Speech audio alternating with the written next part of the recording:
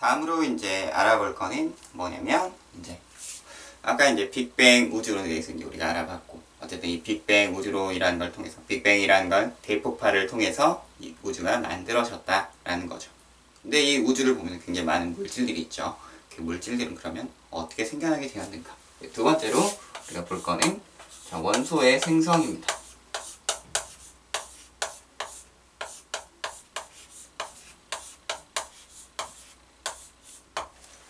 자, 빅뱅 우주론이라고 하는 거는 다시 한번 설명을 한다면 하나의 점으로부터 뭐가 있어져 왔다. 폭발이 있어져 왔고 그 폭발을 통해서 지금의 이 우주가 만들어졌다라고 하는 이론입니다.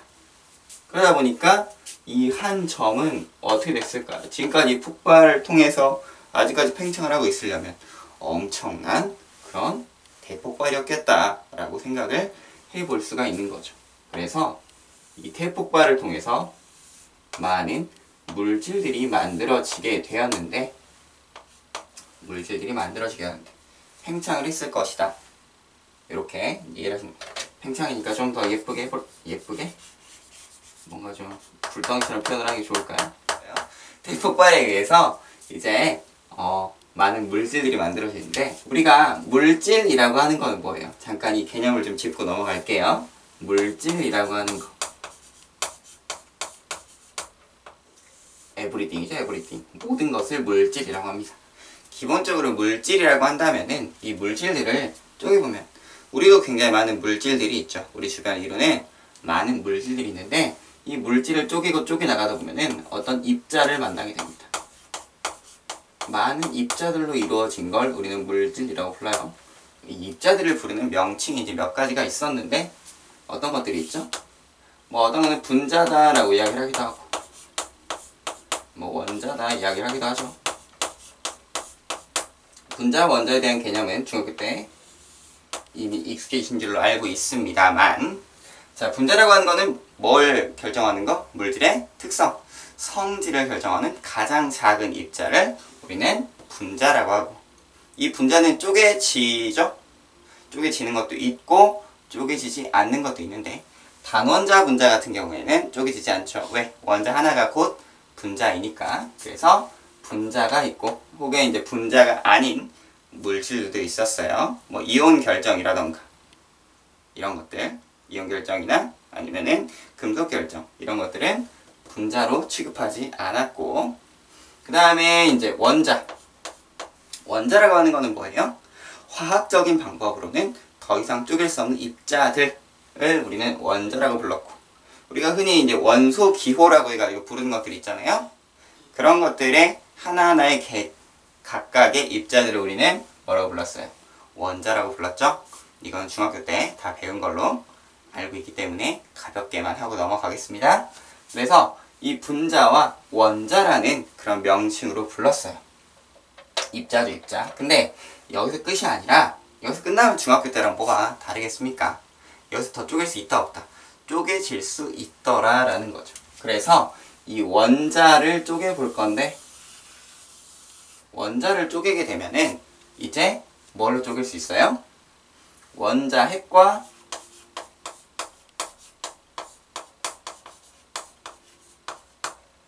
전자로 쪼갤 수 있었죠. 여기까지는 우리가 이제 익히 알고 있는 거, 중학교 때 배웠던 거. 원자 핵은 쪼갤 수 있느냐라고 할 때 쪼갤 수 있더라라는 거죠. 원자 핵도 하나 쪼갤 수 있습니다. 뭘로 쪼갤 수 있냐면 중성자와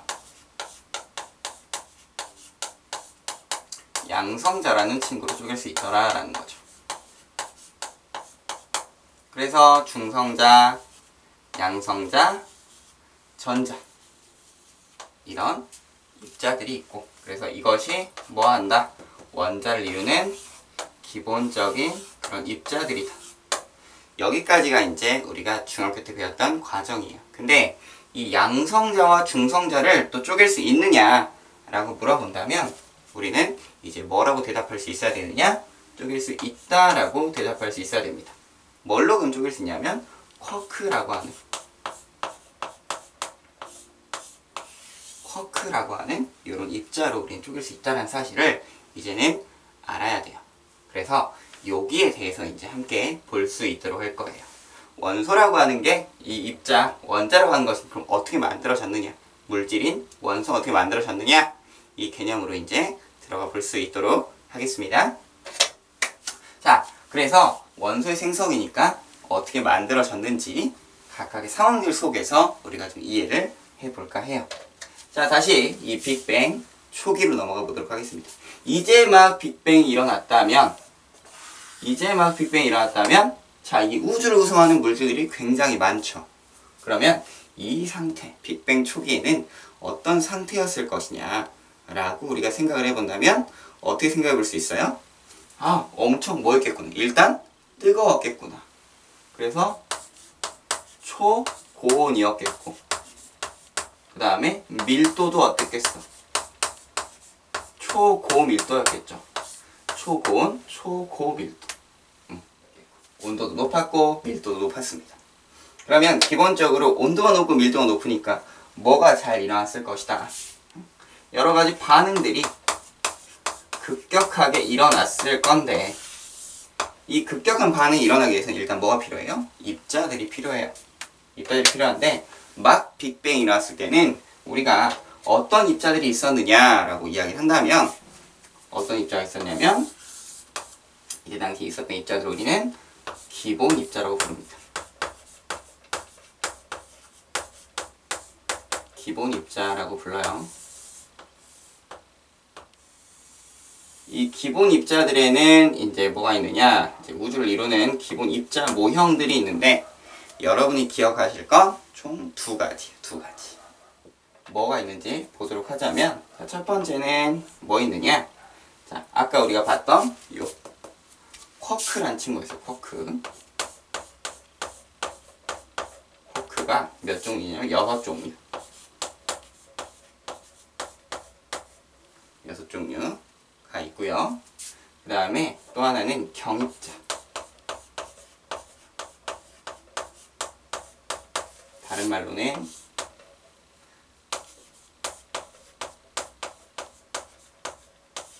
랩톤이라고 합니다. 랩톤. 우리가 그 복숭아 음료 있죠? 립톤이라고. 그거 아니고 랩톤이라고 불러요. 랩톤. 자, 여기도 여섯 종류가 있어요. 그래서 쿼크에는 여섯 종류. 뭐 up 쿼크, down 쿼크, strange 쿼크, charm 쿼크, top 쿼크와 bottom 쿼크. 우리말로 하자면 이제 윗 쿼크, 아랫 쿼크, 뭐 야릇한 쿼크, 뭐 그 다음에 뭐 꼭대기 쿼크, 뭐 바닥 쿼크, 뭐 이런 식으로 좀 이야기를 해볼 수가 있고요. 그 다음에 이제 렙톤 같은 경우는 우리가 가장 잘 알고 있는 게 이제 여기에 뭐가 있느냐? 여기에 이제 전자가 끼어 있습니다. electron이라고 하는 전자가 껴 있고요. 그 외에도 뭐 뮤온, 타우, 그 다음에 전자 중성미자, 뮤온 중성미자, 타우 중성미자 라고 해서 여섯 종류가 있는데 그 중에 경입자에서는 전자 기억하시면 되고 쿼크에서는 뭐 기억하시면 되냐면 이 중에 윗 쿼크 윗 쿼크죠 윗 쿼크 그래서 어, up 쿼크 up 쿼크와 U 쿼크 그 다음에 D 쿼크 이렇게 두 가지를 기억을 하시면 되겠습니다. 뭐뭐 기억하라고요? up 쿼크와 down 쿼크 그 다음에 경입자에서는 전자 기억하시면 돼요. 자 그래서 이러한 입자들이 만들어졌더라 라고 이해를 하시면 되겠습니다. 그래서 이러한 입자들이 만들어졌어요. 그러니까 반응을 합니다. 반응을 하는데 이때 중요한 건 뭐냐면 쿼크는 경입자에 비해서 훨씬 더 뭐였냐면 무거웠어요. 질량이 컸단 말이죠. 질량이 크다 보니까 얘들은 멀리 못 가. 그리고 이 랩톤 경입자들은 특히 전자는 멀리 날아가지고 너무 에너지가 높다 보니까 어디 속박대기를 싫어해요. 어, 속박대기 싫어합니다. 그래서 잘 붙지 않아. 다 도망갔어요. 다 도망가고 이제 쿼크들이 이제 반응을 하게 되죠. 서로 충돌을 하면서 어떠한 일이 있게 되냐면 쿼크는 이제 기본적으로 똑같은 것끼리는 잘 뭉치지 않아요. 잘 뭉치지 않고 그리고 뭉치더라도 어 이게 그 여기 좀 약간 음 뭐라고 해야 될까요? 쿼크마다 좀 색깔이 좀 지정이 돼 있는데 간단히 얘기하면은 그 빛의 삼원색 있죠. RGB RGB처럼 이렇게 쿼크만 색깔이 있는데 각각의 보색 관계라 그래가지고 서로 이제 어, 통합된 색을 만들기 위해서 예를 들어서 뭐 빨강, 초록, 파랑이 모이면 뭐가 돼요? 이 세 가지 모이면 흰빛이 되잖아요. 그렇듯이 뭉쳐가지고 하나로 이제 통합되려는 그런 성질이 있습니다. 그래서 이제 뭉치게 되는데 같은 것끼리 뭉치진 않고 그리고 얘네들이 또 나름의 또 전하량을 가지고 있어요. 이제 입자 설명하면서 같이 드릴 건데 업 쿼크 같은 경우는 죄송해요. 자, 업 쿼크가 3분의 2, 네, 다운 쿼크가 마이너스 3분의 1입니다. 헷갈리시면 안 돼요. 제가 순간 헷갈렸어요. 자, 그래서 업 쿼크 플러스 3분의 2, 다운 쿼크 마이너스 3분의 1. 그래서 이제 뭉쳐서 이제 각각 전하량을 또 가지기도 합니다. 음. 그래서 이제 이렇게 이해를 하시면 되겠고요. 자, 그래서 이러한 가운데 이제 뭐가 뭉치냐면 이제 쿼크가 뭉치게 되는 거죠. 쿼크가 이제 뭉쳐요. 서로 충돌합니다. 아, 아까 그 얘기하다 말았죠? 자, 그래서 색깔을 이렇게 뭉치듯이 쿼크도 이제 서로 뭉치게 돼요. 뭉치면서 이제 하나의 입자를 만들게 되는데 뭘 만들게 되느냐? 기본적으로 이제 쿼크가 뭉쳐서 뭘 만든다? 중성자와 양성자를 만든다 그랬잖아요. 그래서 어떻게 뭉치냐면 자 처음에 쿼크들이 업 쿼크, 업 쿼크, 다운 쿼크 이래서 이제 입자를 하나 만들게 되고 그 다음에 다운 쿼크, 다운 쿼크, 업 쿼크 해가지고 또 하나 입자를 만들게 됩니다. 이렇게 만들게 되는데 서로 이제 뭉치죠. 자, 근데 우리가 이제 전하량을 살펴봤잖아요. 업커크는 전하량이 얼마다? 플러스 3분의 2. 다운 커크는 마이너스 3분의 1이라고 했어요. 그러면 3분의 2, 3분의 2, 네, 마이너스 3분의 1. 하면 전하량이 얼마가 나와요? 플러스 1이 나와요. 이게 실제 숫자, 이게 상대적 전하량인 건 아셔야 되죠? 그 다음 여기 마이너스 3분의 1, 마이너스 3분의 1, 플러스 3분의 2. 하니까 얼마 나와요? 여기는 0이 나옵니다. 그러면서 자 쿼크는 질량이 좀 있어요. 질량이 좀 있습니다. 그러다 보니까 무거워요. 무거운데 무거우면서 전하량을 플러스 1을 띄는 그런 입자를 만들게 되는데 우리는 이 입자를 뭐라고 부르죠? 아까 쿼크가 뭉쳐서 양성자와 중성자를 만든다 그랬어요. 그 중에 전하량을 띄는 입자를 우리는 양성자로 불렀죠. 자, 양성자를 만들게 되고 또 어떤 입자를 만들게 돼요? 여기 전하량 0인 질량을 가지고 있는 중성자를 또한 만들게 되죠. 자, 이렇게 양성자와 중성자가 생성이 됩니다. 그리고 이렇게 서로 생성이 되는 가운데에 아직도 이제 우주는 급속 팽창을 하고 있는 상황이고 온도가 엄청나게 급격히 엄청나게 떨어집니다. 네. 그런 상황에서 무슨 일이 일어나게 되느냐 서로 이제 충돌을 하고 이제 두 가지 있게 되는데 음, 하나는 뭐가 있냐면 양성자가 중성자로 바뀌기도 하고 그 다음에 중성자가 양성자로 바뀌기도 해요. 여기에 대해서는 나중에 좀 더 이제 깊이 이야기하면 이야기 말씀을 드릴 기회가 있겠죠. 바로 뒤에 바로 뒤에 나오니까. 근데 이제 기본적으로 이제 어떻게 되냐면 양성자가 중성자로 갈 때는 에너지를 흡수해야 됩니다. 에너지를 흡수해야 되고 중성자가 양성자로 갈 때는 에너지를 방출해요.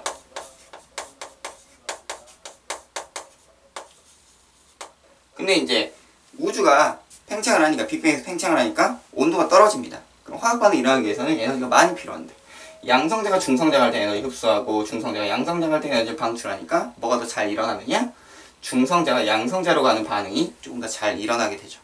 이게 무조건적으로 일어나는 거 아니고 계속해서 수시로 이렇게 변하게 되죠. 그러면서 에너지 계속 교환을 하게 되는데 그러한 가운데 이제 양성자의 숫자가 좀 더 늘어나게 돼요. 뒤에 가서 다시 이제 더 자세히 좀 설명을 할 기회가 있을 거예요.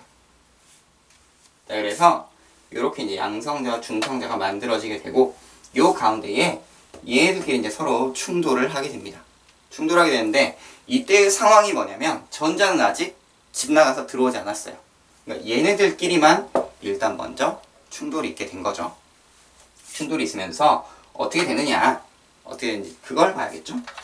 자 일단 근데 이제 이 부분을 한번 생각을 해봐, 해보면 좋을 것 같아요.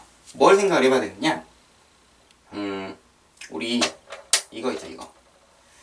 음, 우리 이거 뭐예요?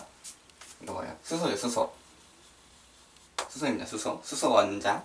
원소기호죠, 원소기호. 우리 요거는 뭐라 불러요? 수소 이온이죠. 수소 이온인데, 자, 요거 한번 생각해 보면 좋겠어요. 수소 원자는, 수소 원자는 원자 핵이 있고, 그 다음 그 주변을 누가 돌아요? 전자력이 도는 모형이잖아요. 우리가 이제 이런 모양 많이 쓰는데 근데 이 전자가 나가면 어떻게 되죠? 집 나가버리면 누구만 덩그러니 남아있어요? 얘만 덩그러니 남아있습니다. 우리가 흔히 이제 수소 이온이라고 부르는 그런 상태인데 자 요거 한번 잘 생각을 해봅시다. 양성자 하나에 전자 하나 있는 걸 우리가 수소 원자라고 하는데 근데 전자가 나가버렸으니까 누구만 남아? 양성자 하나만 남아있죠. 그럼 양성자 혼자 딱 있으면 우리는 뭐라고 부를 수도 있어요? 수소 이온이라고도 부를 수 있겠죠. 자, 하나의 개념을 더 가볼 수 있도록 할게요. 우리가 수소 원자가 이렇게 있는데, 자, 수소 원자가 이제 세 개가 있어요. 세 개를 그려놓고, 자, 어, 여기서 배웠을 거예요. 배웠을 건데, 자, 각각의 위치에 들어가는 숫자들이 있었어요. 각각의 위치에 들어가는 숫자들이 있었는데, 자, 예를 들어서 이제 탄소 원소교를 쓰고요. 여러분들 앞으로 탄소를 좋아하게 될 거예요. 이유는 뒤에 가서 알게 돼요. 자, 탄소가 이렇게 있는데 여기다가 제가 6 이렇게 쓰고요. 여기다가 12 이렇게 쓸 거예요. 그럼 이거는 무슨 말이죠? 자, 여기 있는 숫자 6은 뭘 의미하는 거예요? 여기는 원자 번호를 의미합니다. 원자 번호.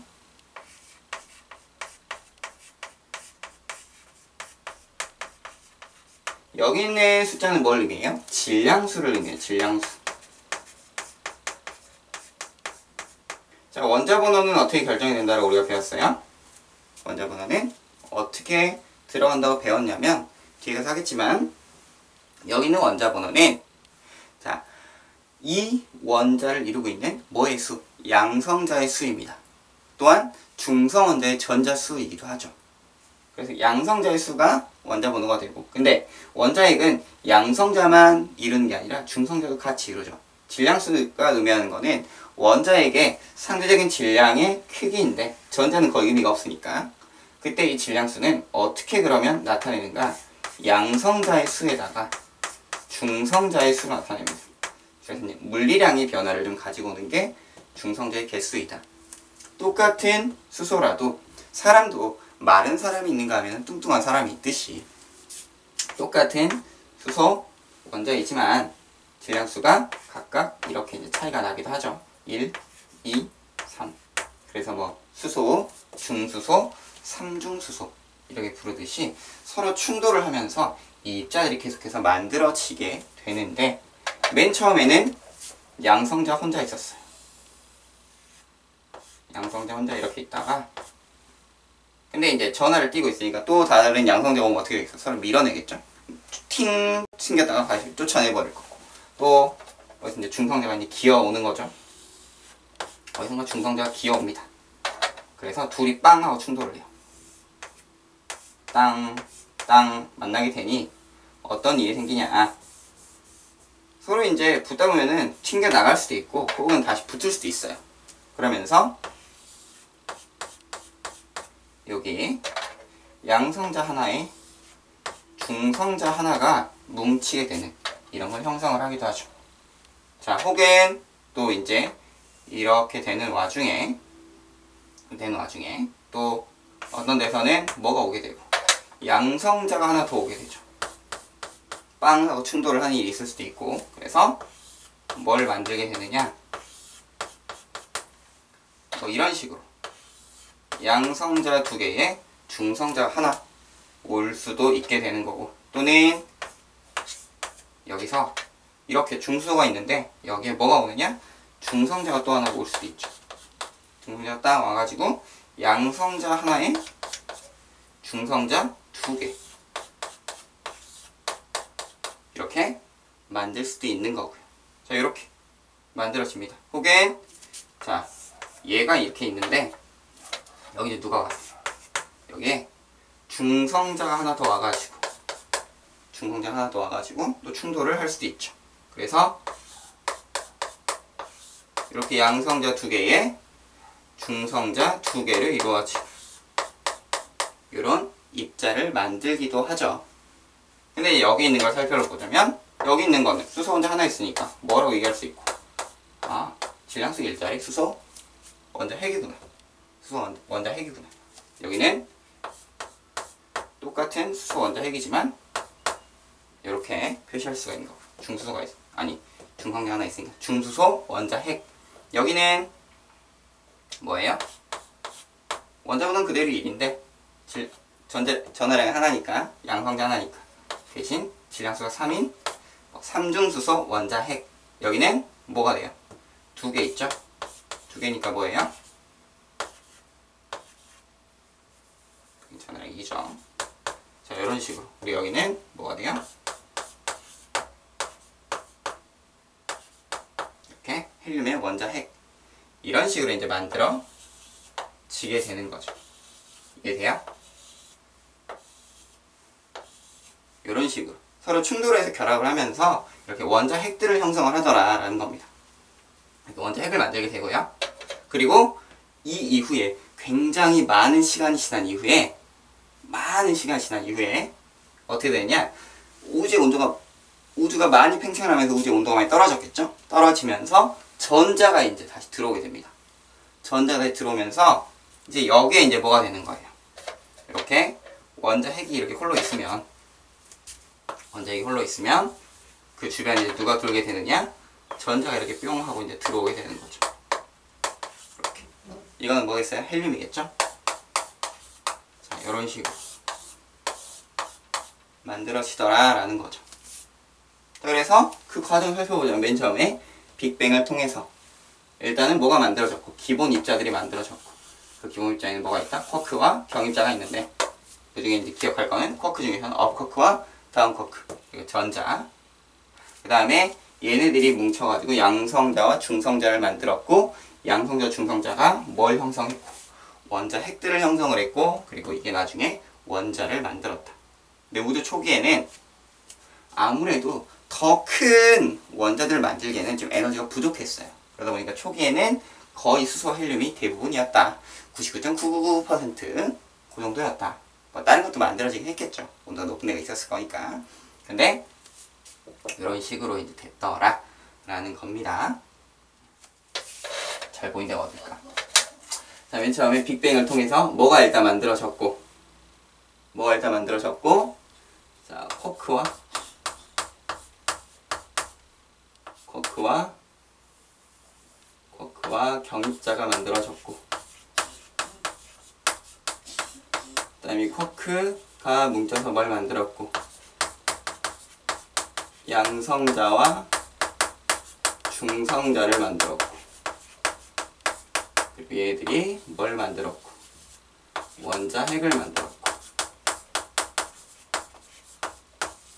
그 이후에 전자가 뭉쳐가지고 원자를 형성을 했더라. 그래서 표시를 해본다면 1번, 2번, 3번, 그리고 4번 이렇게 되겠죠. 그래서 순서도 분명히 기억을 해두셔야 돼요. 그래서 많은 이런 원자들이 만들어지면서 이 우주를 구성을 하게 됩니다. 그 이후에 이제 벌어진 일들은 과연 그러면 어떠한 것들이 있었는지 또 그 다음 시간에 한번 알아볼 수 있도록 하겠습니다.